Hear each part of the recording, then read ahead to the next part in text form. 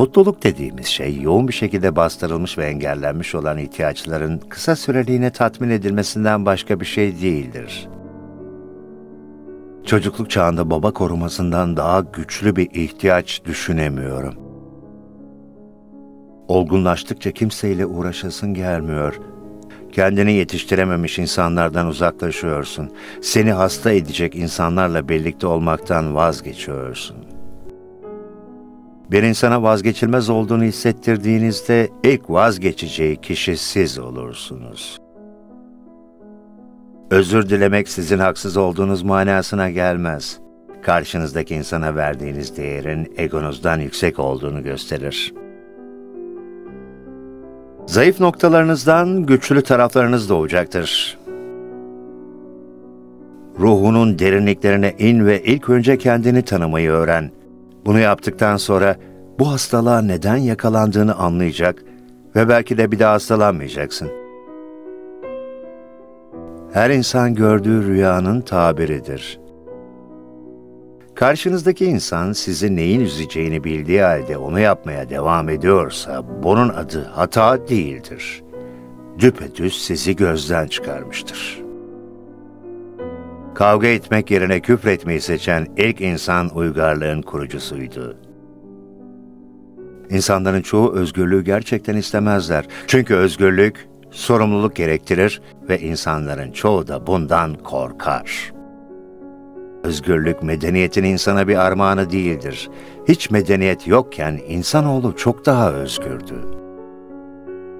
Birine duyduğunuz sevgi ve sinir doğru orantılıdır. En çok sevdiğiniz insana herkesten çok sinirlenirsiniz. Köpekler arkadaşlarını sever, düşmanlarını ısırırlar. İnsanlarsa tamamen farklıdır. Saf ve karşılıksız sevgiyi beceremezler. Kişisel ilişkilerinde ise sevgi ve nefreti karıştırıp dururlar. Zihin bir buzdağı gibidir. Yalnızca yedide biri suyun üzerinde görülebilir.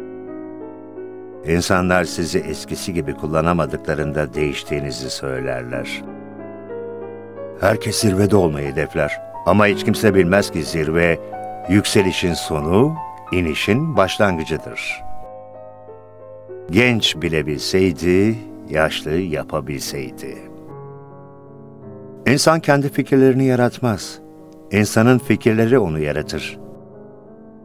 Hayatın amacı ölümdür. Ego kendi evinin efendisi değildir. Acı çekme karşısında hiçbir zaman aşık olduğumuz zamanki kadar savunmasız değiliz.'' Annesinin tartışmasız gözdesi olmuş bir erkek, ömür boyu bir fatih olma duygusunu, çoğu zaman gerçek başarıya götüren özgüveni içinde barındırır. Zekanın sesi yumuşak bir tona sahiptir fakat kendini duyuruncaya kadar durmaz.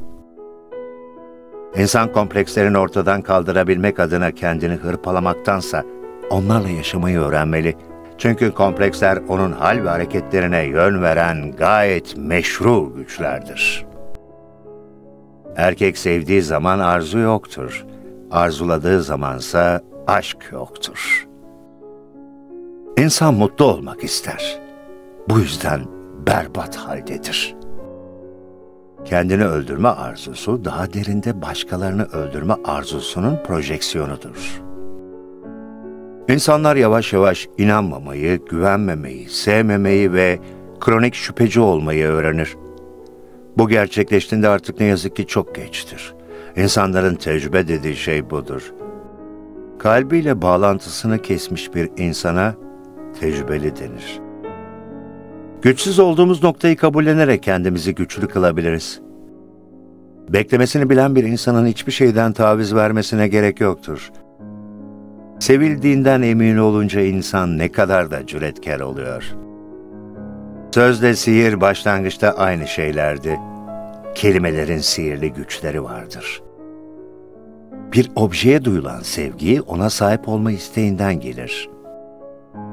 Evrendeki en büyük gösteri sen aklını keşfettiğin an başlar. 30 yılımı kadın psikolojisini incelemeye ayırmama karşın hala şu büyük sorunun yanıtını bulamadım. Peki ama şu kadınlar gerçekten ne istiyorlar?